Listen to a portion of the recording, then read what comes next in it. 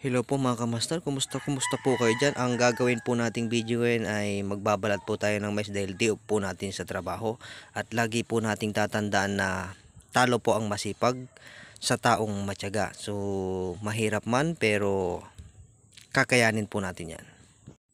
At bago tayo mag-umpisa mga kamaster, ah, shoutout muna kay Sir Marlon Sabangan. Ah, maraming maraming salamat nga pala sa suporta mo sir at kahit papano update ka sa aking YouTube channel. Then ulitin ko, maraming maraming salamat Sir Marlon Sabangan. Shoutout sa iyo at umpisaan na po natin yan.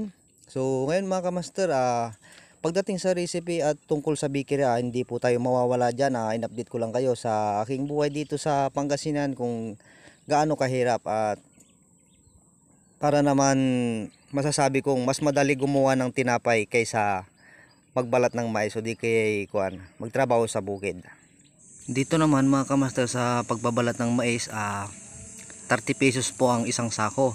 So yung iba ah 25 pesos. Ngayon kung tatanungin niyo kung gaano kalaki yung malalagyan nating sako dito ah kung alam niyo yung sako ng kuan asukal mga kamaster mas malaki pa doon yung kuan paglalagyan po dito. So 30 pesos po 'yon. So kapag mabilis ka, yung super bilis talaga na kayang-kaya mo yung init, ah, siguradong sasahod ka dito ng 600 Ah, kasi kapag 10 lang uh, kuha nata mga kamasta 300 pag 10 so kapag makaka 20 ka sigurado may 600 ka. Ah, ang pro- problemahin mo yan kung kakayanin mo kaya yon kaya kung ako sa inyo kung gusto nyong matuto ng bikiri ah, magtiyaga po tayo ano? Kasi kung masipag ka lang din wala kang tiyaga ah, siguradong hindi rin kakayanin yon mga kamastar mahirap nga ang gumawa ng tinapay at mahirap pag-aralan pero kung gagawin natin ah, kayang-kaya po natin yan.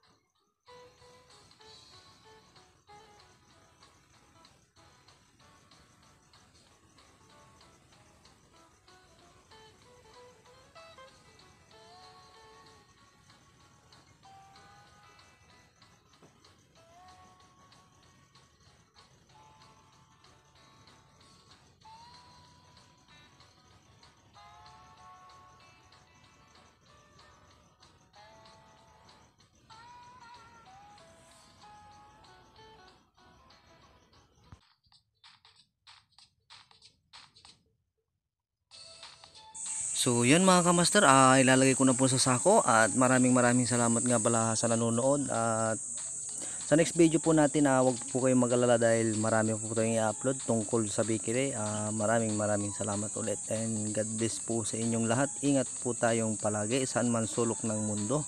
Master Baker po.